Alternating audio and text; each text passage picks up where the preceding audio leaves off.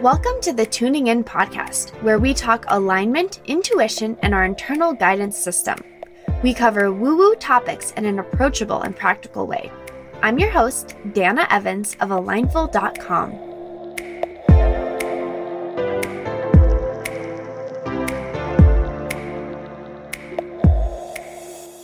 Hello, and welcome to another episode of the Tuning In podcast. This is episode 103. I hope you all enjoyed last week's episode with Jen. That was such a fun one to record, and definitely one I think people will be coming back to when it comes to fear and intuition and getting out of fear and into your inner guidance. So, I hope you enjoyed that. This week, I actually didn't think I was going to record an episode, and it's really interesting how the episode came to me. I am at my parents' house right now, and I didn't record an episode yesterday. I just I didn't really have any inspiration of what to record. So I didn't. And then I went to sleep last night. Well, I got into bed at 7, which has been happening a lot since it's been getting so dark in the evening so early. I just kind of get into bed early. And I read till like 8:30 because I'm reading this fun book that's kind of like a Jack Reacher style book. It's a Jack Noble series books and it's just like a consumable, you just like binge read it book. So I was reading that for like an hour and a half. And then I went to bed and slept straight until 5 a.m. And I woke up at 5 and I was like, oh, cool. Like I'm up nice and early. I'm ready to get on the day. I'm going to record my podcast first. And then I'm like, oh, I have nothing to say. I don't know what to record. I don't have really anything that feels inspiring. And as you know, I only share with you all when I feel inspired and when I feel an inspiring idea come through. And I didn't have that. And I'm like, darn. Okay, well, I'll do a meditation before I get up. So I put my headphones on and I'm at my parents' house in the guest room. So I was like, I just stayed in the bed to do my meditation. And lo and behold, apparently my body needed more sleep because I just iced back out and went right back to sleep, which was funny because I thought I was awake, right? And like ready to get up at five. So I fell right back asleep and woke up around a little after seven, very confused. very, it was just one of those deep, deep early morning sleeps. But the cool thing was when I woke up then, as you might know, that when you first wake up, like the, the first half hour after waking up is very much, I think our brain is still kind of in theta, yeah, it's in theta brainwaves. So delta is when we're asleep, and then theta often happens like when we're just waking up, or if you get into a really deep meditation. I'm pretty sure that's accurate. And that first half an hour when you wake up, your brain is still kind of in theta brainwaves. It's why people recommend you do morning pages, right? Where you just do stream of consciousness writing or journaling, like letting things flow out. It's why it's not recommended to immediately jump onto your phone and start looking at Instagram or emails or replying to people because that's like an energy suck and it's like conscious mind energy and it takes you away from yourself. And it's not a great use of that first half an hour of your day when you might have inspiration, clarity, insights, reflections to like jam yourself full of other people's mind stuff is really just not supportive for you. And certainly not supportive for your theta brainwaves. So it's such a beautiful time where you're not fully like your conscious mind isn't fully online it's a beautiful time to receive. So I often wake up and just lay there and see what comes through from my inner voice in the mornings. And I often get a lot of messages. I get really great words that if I'm wise, I take my phone or a notebook and write down what comes through because it's it's it's inspired, insightful content usually. So this morning, I actually had an Instagram post. Did I I'm not sure if I fully remember what came through with that. But that was the first thing that came through was like a quote. And then I thought, oh, this is my podcast for the week. This is what we're going to talk about this week on the podcast. So it was really cool that I felt like I had nothing at 5 a.m. and I wasn't really planning to record. And then at 7, the idea was there for me. So here we are at nine recording the episode that came through. So, really simple. I'm not, I'm going to try not to spend too much time on this one because it's a pretty simple message. But the reason it felt important to share today is I'm seeing this with myself and I'm really, really, really seeing this with my clients right now. So, you may know that I have a three month coaching, one to one coaching program called the Insight Coaching Experience. And this is modeled off of my own experience when I decided to just let my inner voice start guiding me. The sloth experiment is what it was called. I have lots of podcast episodes about that. And this, it's a merging of energy work, breath work, mind based coaching, subconscious reprogramming, and most importantly, inner voice. And it's really a different way to approach coaching. is by taking people out of the mind where all the problems lie and into the inner voice where there are no problems. And the inner voice sees things very, very differently, right? Your inner voice is connected to something beyond you, right? It's God within you. It's your connection to source. It's connected to your intuition. It's not necessarily your intuition, but it is just this omnipresent part of you that you always have access to. Okay, it's yours. And you also always have access to the mind. But we live in this world where we, we're on the station, which is all mind all the time. And so, in the work that I do one to one with my clients, is we start bringing the inner voice online and we start shifting the focus in our coaching sessions. Like we build up to it, where our coaching sessions, we end up splitting or even doing more time where the inner voice, we're interviewing and talking directly to the inner voice instead of the mind. And it's the most beautiful experience. It's the most magical work through that, a lot of clearing happens, right? A lot of people end up realizing that, oh, I've been operating in this problem mode and what happens if that's not real? And what happens if I let go of this, right? It's real to the mind, right? It's real in your 3D world. I'm just saying the inner voice doesn't live in the 3D world, right? It lives in the present moment and it's multidimensional. So it doesn't experience things the same way the mind is. So I'm not dismissing the mind by saying that, but what happens is when you hear and feel and sense this other perspective of your inner voice, it starts to shake up what you think is true and real for you. And it's a really powerful way to start to rapidly shift and release and start to operate from a different perspective, the perspective of your inner voice. But what is required to really do that is, well, a lot of trust, a lot of release. So emotional clearing happens a lot. So beanbag, we call them emotional beanbags, but it's like any old trapped emotions that are living in your system that either were unable or unsafe to process in your past. Those you know, energetically live in your body. And so part of the work we do is it's a lot of clearing, a lot of moving of energy, a lot of witnessing and sitting with those old emotions and letting them be transmuted back to light, back to you through presence and awareness and breath. So powerful. And what's required for all of this to really transpire is space. Space something that a lot of us don't feel we have or we have access to. And our minds have been conditioned to kind of both crave and fear space.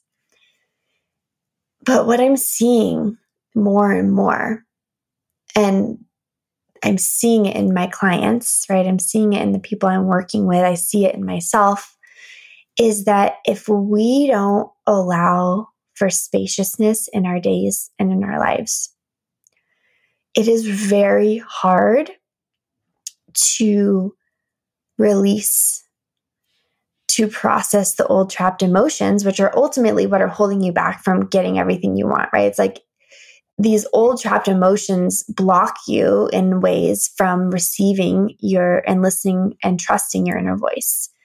They're fears and things that don't feel safe they're just holding and their baggage within our systems.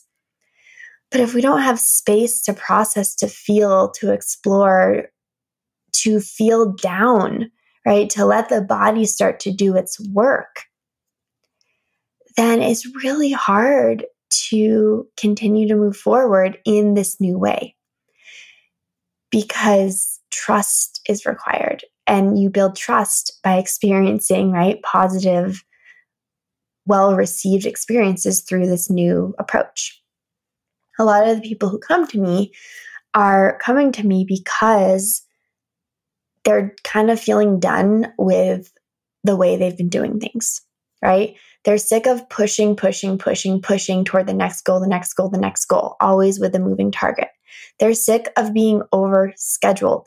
They're sick of not having any space. They're sick of being afraid to take time for themselves, right? To prioritize their energy and yet they you know they've done mindset coaching right? They're comfortable with mind coaching and they can coach themselves out of being annoyed by their work right? Or their schedule or their partners or whatever.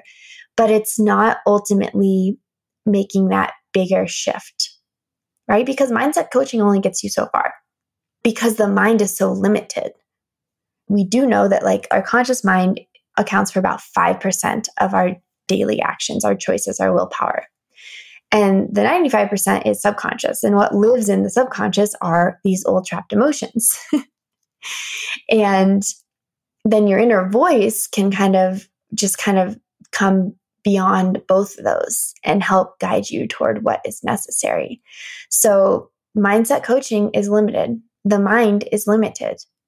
And it's valuable, right? It has its it serves a purpose and it will get you to a certain point. But when you're feeling that, like, okay, now what? That's when I step in and I'm like, yes, please come with me. Let's take a different approach. Let's look through a different lens. Let's step more into that, the softening, right? The mind is really rigid and linear and really black and white, right and wrong. Like, what's next? What's next? What's next? And then your inner voice is more fluid, right? It's softer, it's more attuned and adaptive. And it's really guiding you toward what's the next best step. The mind wants to know the how and like, how is this going to happen? I need to know exactly. And the inner voice is saying, well, just trust and listen, and each next step will be presented to you. But the mind is very hesitant to follow just the next best step because it needs to know where it's going. And the inner voice says, Well, trust that we're taking you to the exact right place that's right for you. And you can imagine as you hear me talking about this, like the mind has a lot of frustration around this. And that's a lot of the work that we do, I do with my my clients is like, how do we start trusting in the inner voice? Like, what does that feel like? What does that experience like? One of my clients recently said, she's like, Yeah, I feel like I'm just jumping off a cliff. I'm like, Well, okay, yes. And it may have been a different client who said, The mind feels like I'm jumping off a cliff, but the inner voice feels like I'm flying. And right there, there's perspective for you. You're making a leap either way. The mind feels like it's a free fall. The inner voice is like, This is how we learn to fly. What? And for each person, each individual, this looks different, right? For some people, it's really small steps, like bit by bit, bit by bit. And for other people, it's like, well, it's just diving in. And your inner voice, not me, and not even your mind, but your inner voice is what is ultimately dictating the pace at which you're moving as you're shifting from living on the all mind all the time station and moving toward the inner voice station that is that more intuitively guided way of being. It's so powerful.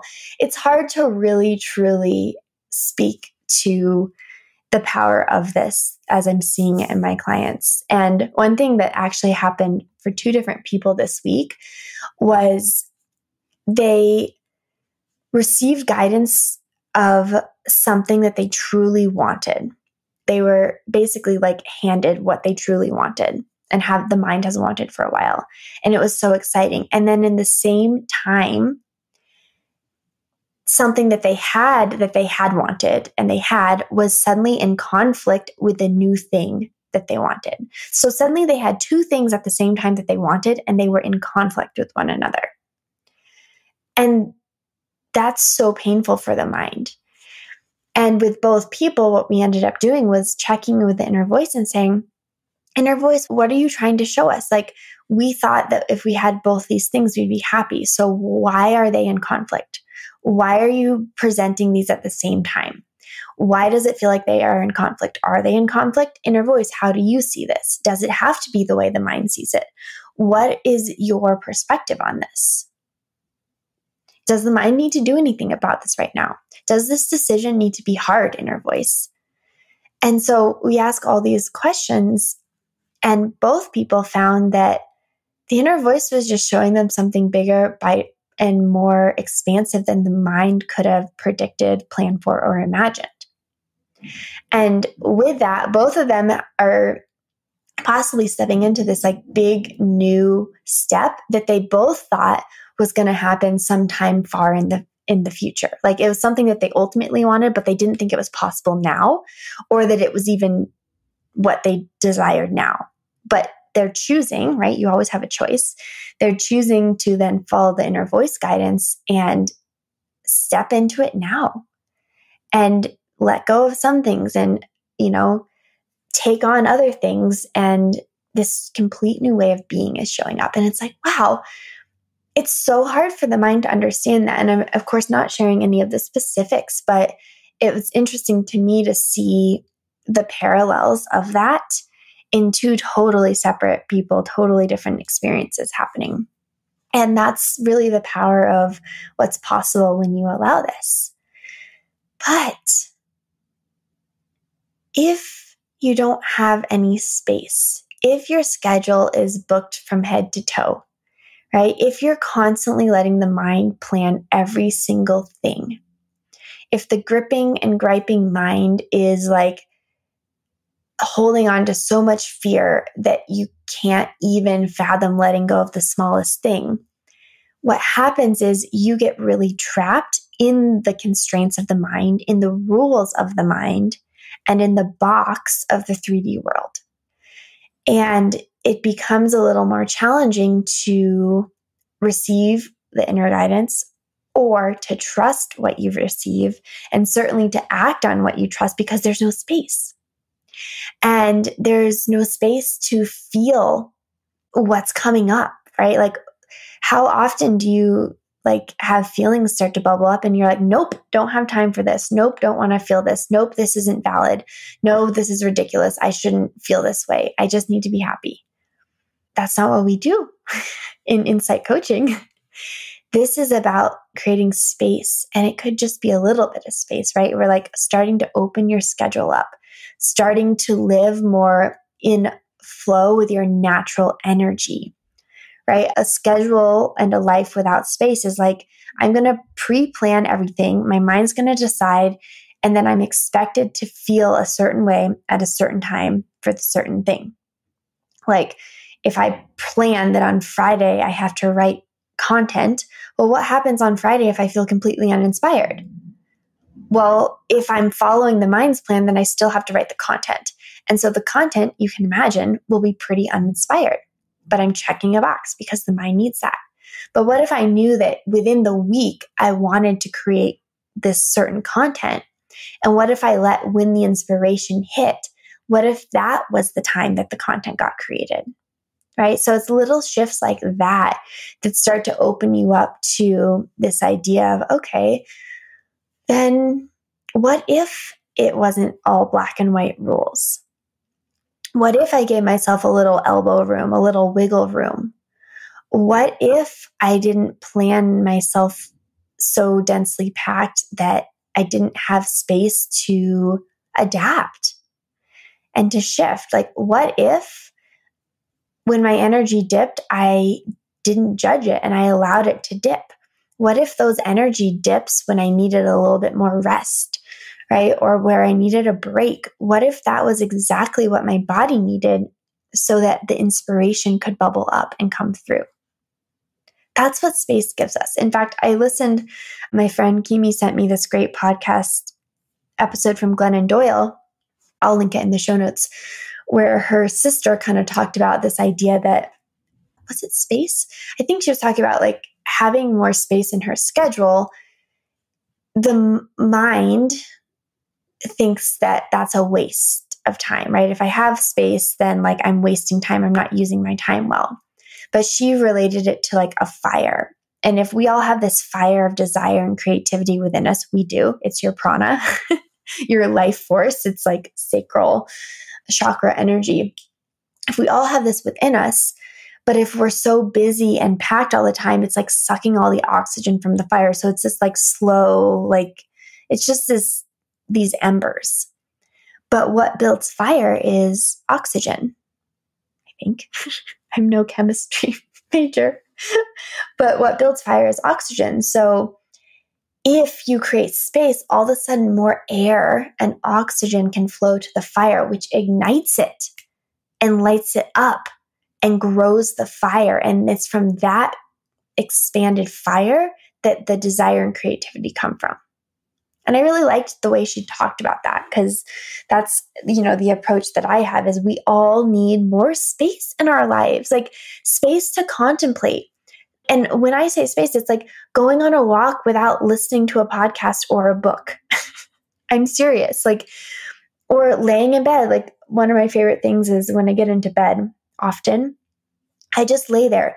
No reading, no meditation, no phone. I just lay there and feel into my body. I have a whole actually meditation that I recorded called the Tingles Meditation to help you with that. But I just lay there and just feel. And sometimes thoughts come up and go. Sometimes I get ideas. Sometimes it's processing the day, but it's just like 10 minutes of just feeling. And I often fall asleep when I do that. okay.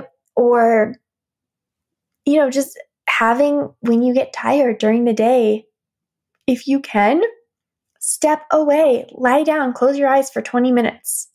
I know it doesn't feel like you have 20 minutes, but what if you did? What if that 20 minutes of closing your eyes was exactly what regenerated you instead of pushing through, pushing through, pushing through? Notice your own energy levels. We do not have to operate on the masculine energy scale right? Which is like 24 hour cycle where you have the same amount of energy every day, especially even as a, uh, you know, it doesn't matter, but like, especially as women, we operate on a 28 day cycle. So literally women, ladies, as you're cycling, okay?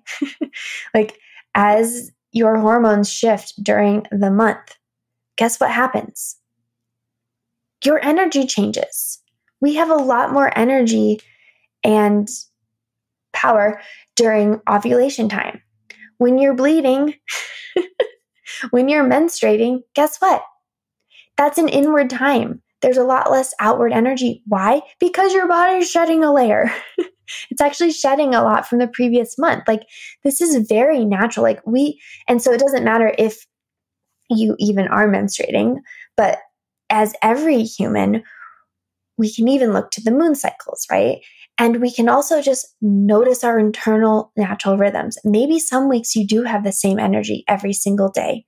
You know, maybe you can work from nine to five with the same sustained energy. But what if you don't have that? What if you just start checking in and being like, where does my energy naturally dip during the day? And what happens if I pause? So I've noticed this for myself is that, and this might take some time. Like we are, when I first left my full time job, and especially when I started getting into this work, I was like, have I always been this tired and down? What's wrong with me? That's what I thought. But what I actually realized was that it was really just the pendulum swinging. It was so far swung to the one side of like, I should always be happy, I should always feel good, and I should always have energy that like it was false energy that I was operating on. I wasn't letting myself experience the tiredness. I wasn't letting myself experiencing my full range of emotions. And so what happened is when I lifted the parameters around that and I was like, okay, rules are gone. I swung almost completely to the other direction where I felt like I had no energy. and that my emotions were completely unstable because my body needs to find its natural rhythm. Okay. So it had to swing one way and then it kind of goes back and forth, back and forth until it settles into its own rhythm, which we're all still always looking for and allowing that to show up. And it was like alarming to me when I first started doing this work. And I, you know, I work through this with my clients is I was like, well, why would I do this work? Because it feels like I'm just like all over the place. I'm tired. I don't want to be around people. All of that happens. And it's not because anything's wrong. It's that your poor system has been held and trapped in the like, you have to be this way all the time for so long that it needs to just like have the space to completely go the other way and like feel everything. Be alone if you need to, right? Like less stimulation, all of that, so that your body can kind of start to recalibrate on its own. But yeah, it's hard for that to happen when you have a really packed schedule, a really packed life, and everything is planned from the mind. And I'm not saying that your life will look like my life, right? Like your inner voice is guiding you toward what is the best and highest for you and those around you. Okay, so my life, I don't have kids, I don't have a nine to five job.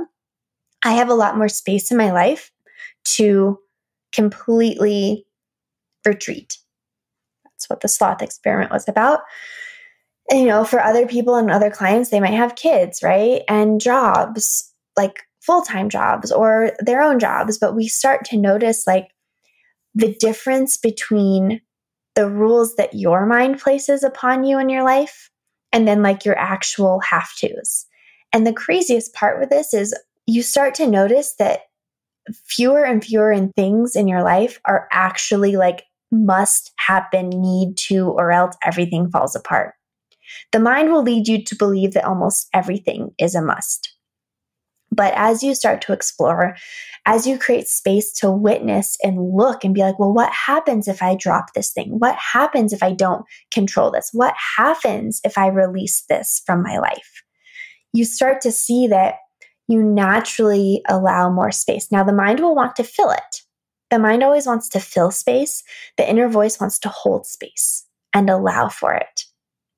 And the inner voice, more importantly, the reason space is so important in our lives is that if we don't have space in our lives, how can we receive what we're desiring? Right? If you're like, well, I want this, this, and this, but this is what my schedule looks like, well, how are you supposed to receive that? I remember I heard someone talking about this in relationship to like being in a relationship that wasn't serving you, like a partnership. And it's like, well, these are the things I want in a partner, but maybe my current partner does that, maybe not. and it's like, well, okay. What happens for a lot of people is when they release their partner that's not serving them or they're not serving each other, that makes space for a divine partner to come in. But what do we do instead? We're like, oh my God, I got to find someone. I got to go get out there and find someone, find someone, find someone, fill my schedule, fill my schedule, fill my schedule. And then all of a sudden it's like, well, you have this desire for something, but there's no space for it to come into your life. So space creates space for the divine right thing to be filled. And the divine right thing shows up through following what your inner voice is guiding you toward. That's what's so interesting about space. That's why, so I moved into my office, by the way. One thing that became clear to me with my business, I was like, I, I have this desire to bring on more clients, right? So I was keeping it around three clients this year. And for next year, I want to have, I feel called to have four, five, maybe six clients. And what I realized was I was operating, I didn't have space for those clients. I didn't have space in my schedule. I didn't have space in my home. And I didn't have energetic space. So I can want and try to manifest those clients all I want. But if I'm not creating space in my life for them, where are they going to fit in? I don't want to squeeze them in. I want to have a spacious, beautiful time with my clients, be able to communicate with them on Voxer, be able to have sessions that work within my schedule with them and be so present and hold space for them, right? to receive. So, one of the things that became clear is like, I need my own office space, which is what inspired the Cloffice project because I didn't have anywhere in my home that was just for me and my clients. And now I do. It's not complete yet, but my desk is in there. The Cloffice is empty and my desk lives there. Oh my gosh, it's so amazing. And when I put the desk in there, it was last weekend and I had my chair and I like made my desk look, it's such a cute desk. And I blessed the space. I used cedar to clear it and then eucalyptus to welcome it. And then this frequency spray, an abundance frequency spray. And I sat there and I sprayed it and I just blessed it and thanked it for being there to hold the growth that is coming for my business and to invite new clients and new streams of income and new breakthroughs for myself and my clients.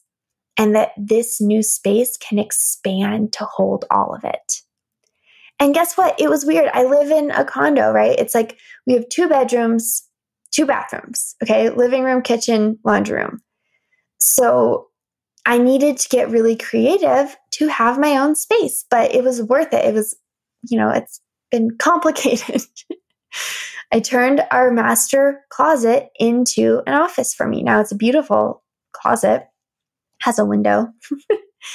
and now it's going to be a beautiful office, but I had to like rearrange everything. John had to be on board, right? I turned our laundry room inside out, took everything out, moved all of the stuff from our closet into the laundry room, then had to refigure, okay, how is how is my laundry room also going to hold storage? And it was like whack-a-mole a little bit, but that needed to happen. I just knew that needed to happen.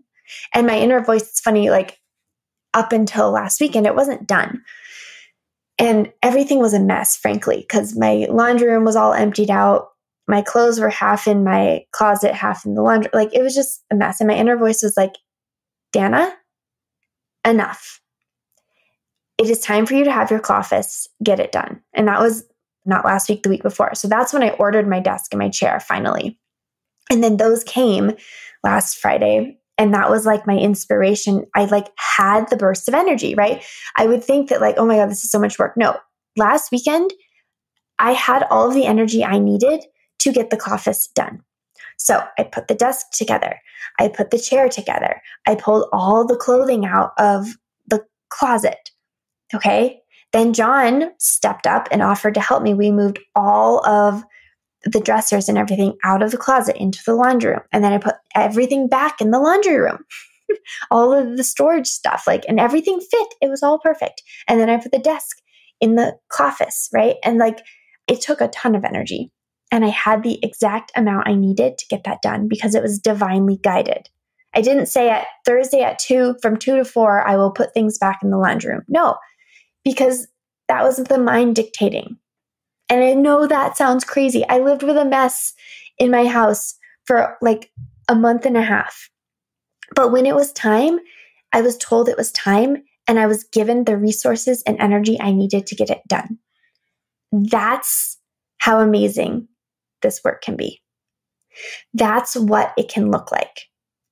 If the mind lets go of the rules, of the control, not all of it, but some of it, look what can unfold. If you allow yourself to sit in the messiness of the unknown, right? To process, to sit in the spaciousness of letting these uncomfortable emotions be felt and seen and heard and released. To let yourself say no to people and things.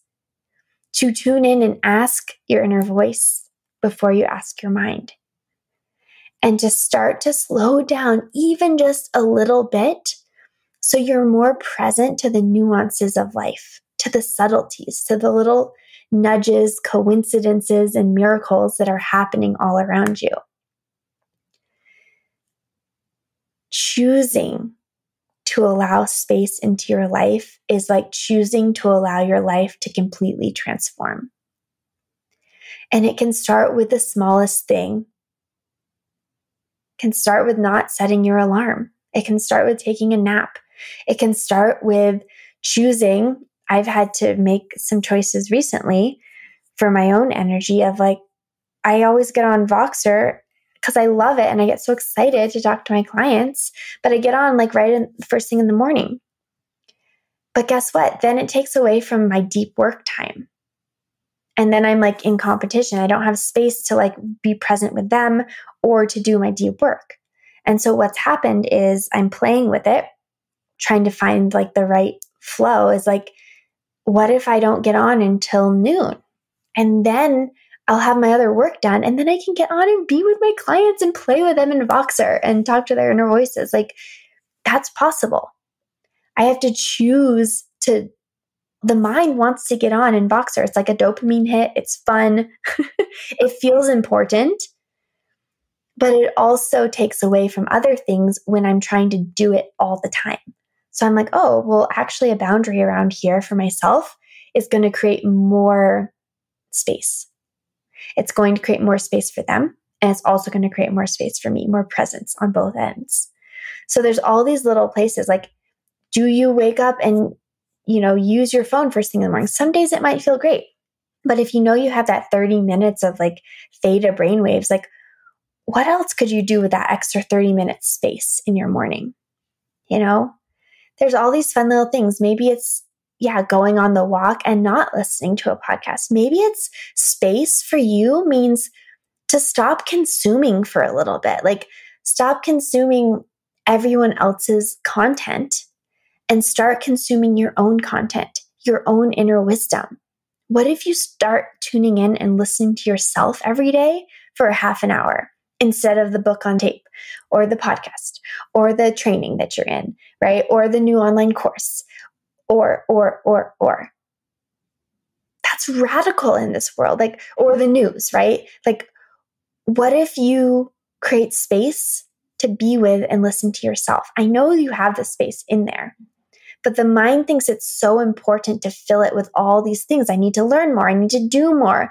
I need to put more out. I need to bring more in. I need to, I need to, I need to, I need to. And the inner voice is like, but what if you didn't? Exhale, right? Space. So simple, yet such a loaded topic for the mind. And I understand that. I get into that as well. And it's just a practice. But if you truly want something different in your life, if you truly want a different experience to feel differently, we have to be willing to allow yourself to sit in the discomfort of the nothingness, the void.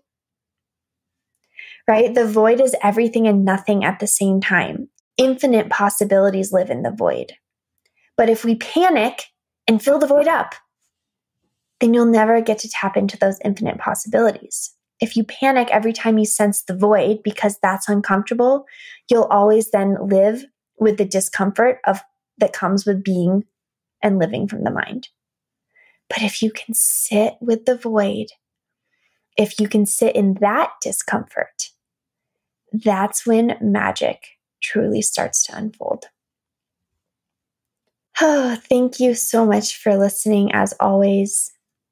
And I am calling in three new clients, three more clients rather, for January, January, February, March for the Insight coaching program. So I have some clients who have renewed. I have another new client, and the number I got from my inner voice is three.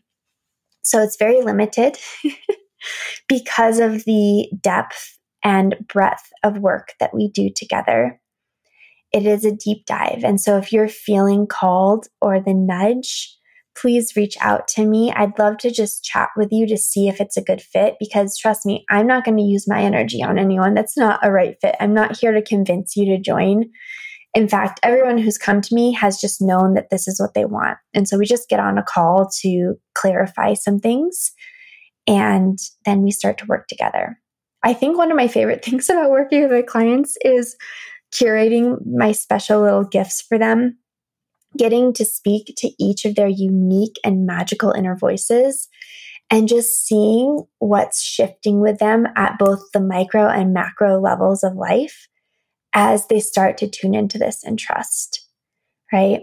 And it just starts with the first three months of exploring. And usually people renew because there's a depth that it's hard to come by in other coaching spaces. I'll just say that. I offer something very unique, which is space that I'm creating and holding for you to be in your own stuff, right? To feel like when was the last time you had a meltdown and someone was just there holding that space for you? And then guiding you back to your inner voice and just letting that completely clear out of you so that you could feel the stillness and truth of knowing from within. And that's possible. Like when when we work together, that's what we do. I hold that space for you. I hold it for you in our 90 minute sessions, which is like what? You don't get that in the coaching world. 90 minutes is just a lot, but it's also a lot for you to just be with yourself. And that's each week. And then we have this integration week. So it's three weeks on of our 90 minute sessions and Voxer support. And then there's one week off where it's integration, where it's you getting Voxer support from your inner voice versus me. And so you get to put the rubber to the road and see how powerful you are and release and clear and move through whatever comes up. And I have, of course, a bunch of resources and meditations to help you with that. But it's such a transformative experience. Like you'll look back and be like, who am I? And part of the space that I hold for you is space to see yourself shift, right? We don't always notice the subtle shifts that happen because the mind's always, even with this, the mind's like, well, I want to be better at this. I want to be more relaxed. I'm going to, I'm going to try harder to be more relaxed. That's what the mind wants to do. But that's not what it is. It's the leaning back. It's the allowing. It's the witnessing. It's the softening of the edges, the smoothing of the transitions and the shifts. And then I'm here to help you witness that and see and honor what's shifting within you because it starts inside and it's really hard to explain or even for other people to see. You know, and for yourself, it almost might look like you're just falling apart at first and unraveling, and you are. That's the whole point. You're deconditioning you're shifting from being a all mind all the time being to being a being, experiencing the magic of life and tuning into the guidance from your inner voice, from source, from all that is.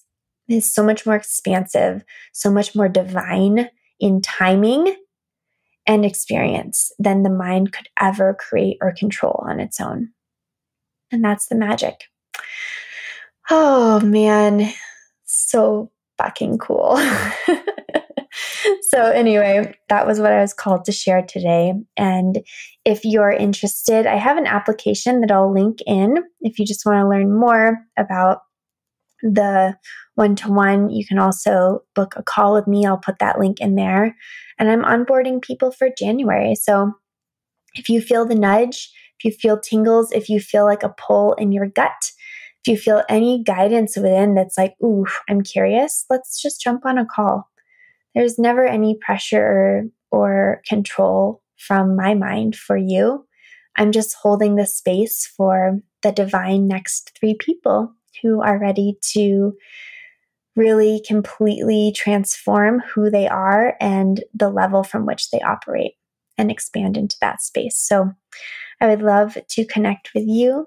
And thank you always for listening, for tuning in, for sharing this episode, for the reviews I've gotten on iTunes. Like it all is just so magical, both for me and just knowing that you're tuned in to yourself as you're present with this. So, so honored and grateful to be a part of this community. And until next week, as always, thank you for tuning in.